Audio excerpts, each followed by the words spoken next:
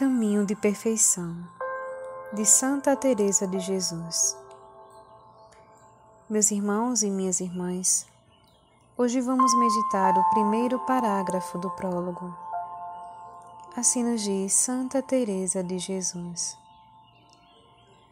Sabendo as irmãs deste mosteiro de São José que eu tinha licença do padre presentado, Frei Domingo Banes, da Ordem do Glorioso São Domingos, que presentemente é meu confessor, para escrever algumas coisas de oração, em que parece que poderei atinar por ter tratado com muitas pessoas espirituais e santas, tem-me muito importunado, tanto para que lhe diga alguma coisa sobre ela, que me determinei a obedecer-lhes vendo que o grande amor que me tem pode fazer-lhes mais aceite o mau estilo e imperfeito daquilo que eu disser, do que alguns livros muito bem escritos por quem sabia o que escreveu.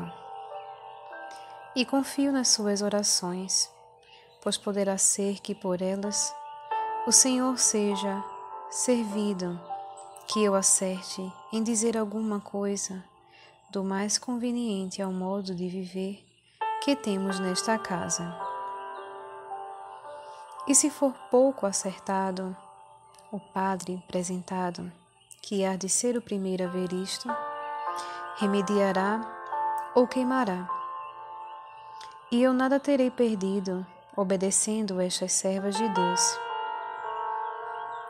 E elas verão o que eu posso por mim mesma quando Sua Majestade não me ajuda. Santa Teresa de Jesus, rogai por nós. Em nome do Pai e do Filho e do Espírito Santo. Amém.